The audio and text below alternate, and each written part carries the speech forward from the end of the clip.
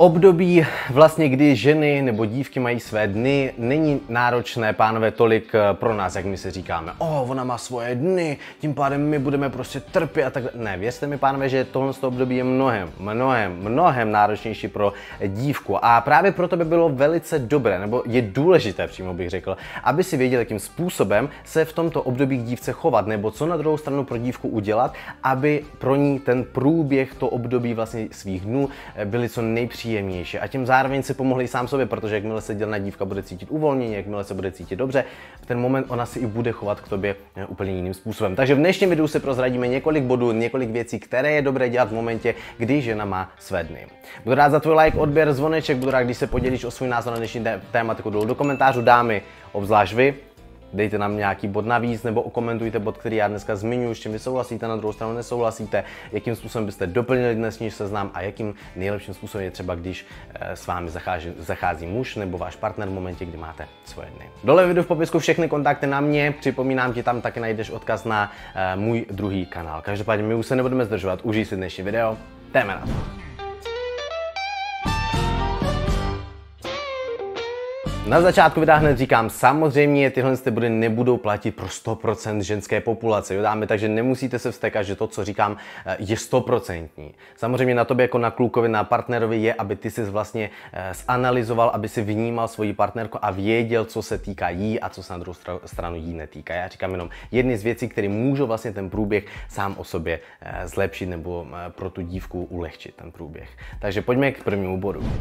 Jako první bod zde mám jídlo. Ano, velice často se v tomto období vlastně mění trošku chutě eh, dívek. Můžou více jíst nebo můžou mít chuť na jednu konkrétní věc. Eh, to, co dřív milovali, nemusí chtít po dobu těch 3-5 dnů, kdy to pro ně je nejintenzivnější a tak dále, tak dále. Proto pánové, v momentě, kdy ti řekne, aby si skoupil, nebo aby si koupil eh, milku, oříškovou milku a ty jí přineseš eh, milku mléčnou, Věř mi, teď jsi udělal tu největší chybu, kterou si vůbec na tom světě mohl udělat. Ona chtěla přece tu oříškovou.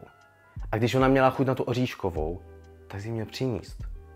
Proto, pánové, vynímejte, co vám dívky říkají v tomto období. Udělejte pro dívku vlastně to, že eh, jestli ona má v něčem potřebu, tak ji jistým způsobem ukojte. Což vlastně jistým způsobem už nám naznačuje, jaký bude druhý bod. Jako druhý bod zde mám v období, kdy vlastně dívka to vyloženě dostala, netlač na ní, co se týče toho samého.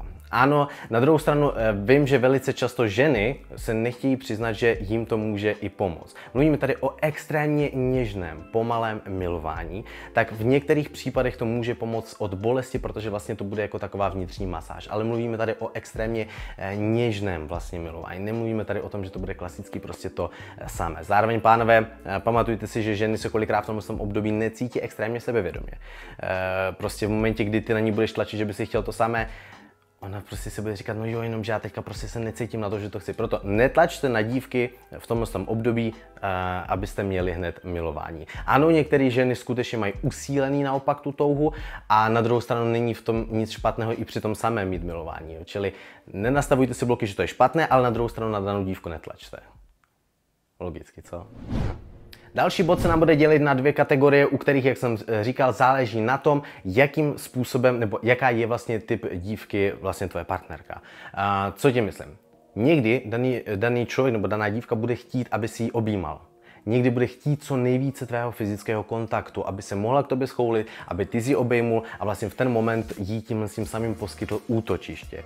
Nicméně je tady druhá vlastně, jakoby, nebo je tady druhý typ žen, který na druhou stranu vůbec nebudou chtít žádný fyzický kontakt který budou chtít ty dva, tři dny být co nejvíce sami. Budou chtít co nejvíce mít prostor sami pro sebe, protože to prostě chtějí nejdřív eh, si tím jakoby projít, prožít, ať už to je na ústupku a pak teprve budou schopni zase znovu fungovat.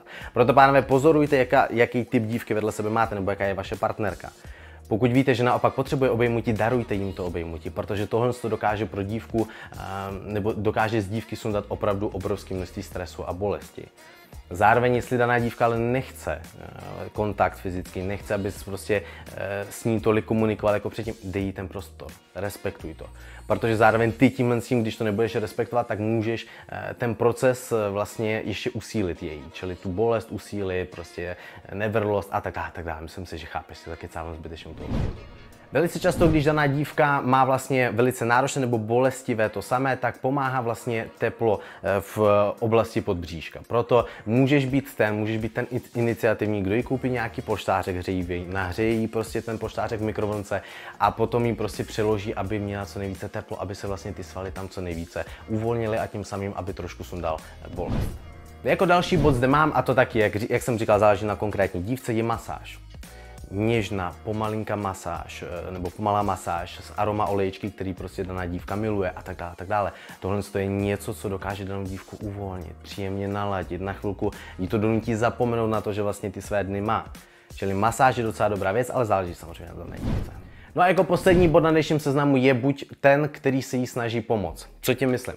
Existují různé čaje a tím nemyslím obyčejný pitlíkový čaj, který kupuj, kupujete někde v lékárně nebo někde tamhle prostě v supermarketech. Existují speciálně namíchané prostě čaje, kvalitní čaje, které dokážou, který když se bere třeba týden, dva před tím samým, tak dokážou neskutečným způsobem ten proces vlastně zhladit. Že zkrátka jednoduše nebude mít daná dívka takové bolesti a tak dále. tak dále. Proto buď ten iniciativní, nebo snaž se dané, danou dívku pochopit a vlastně jí navrhnout nějaký eh, nápomocné věci nebo věci, které by jí mohly v tomto směru eh, pomoct. Tak doufám, že jsem to jsem zase nějak tak jako složitě řekl, ale rozumíme si, co tímhle s tím bodem chci říct. Děkuji ti, že se dodíval na tohle video až do konce. Pamatuj si, je to vždycky o tom, že ty musíš svoji partnerku vnímat. Jo. To, co já říkám na dnešním seznamu, jsou jedny z možností, kterými, kterými ty můžeš vlastně ten proces ulehčit, ale není to, že to je u 100% dívek. Musíš pozorovat svoji partnerku, musíš ji vnímat. Budu moc rád za tvůj like, odběr, zvoneček, budu rád, když se podíváš na moje další videa, dole vedu v popisku všechny kontakty na mě, pokud máš zájem o konzultaci, tak i tam najdete odkaz na můj druhý kanál. Užívej si krásného pozitivního života po buku partnerky, eh, která bude šťastná s tebou a ty zároveň s ní. Těším se na tebe zase příště. Zatím ahoj.